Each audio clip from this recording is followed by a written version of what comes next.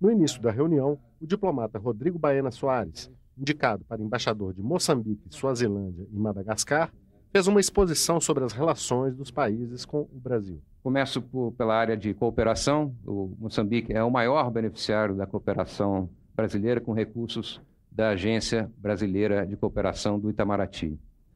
É, cobre áreas bastante diversificadas, como saúde, educação, formação profissional, sistema previdenciário, desenvolvimento agrário, entre outros. São exemplos dessa cooperação de caráter bilateral. Eu queria mencionar dois projetos importantíssimos que desenvolvemos com o governo de Moçambique, que são a Universidade Aberta em Moçambique e também a Fábrica de Medicamentos Antirretrovirais.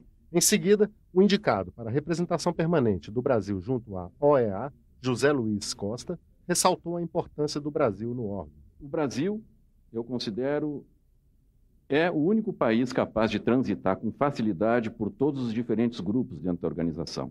Os senadores levantaram os principais desafios que os diplomatas, caso tenham as nomeações aprovadas, devem enfrentar.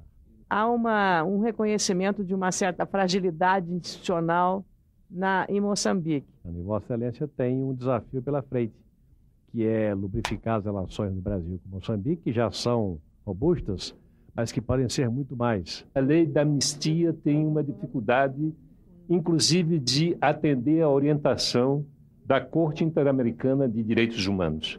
Existe claramente uma condenação, uma recomendação que o Brasil investigue os crimes praticados pela ditadura.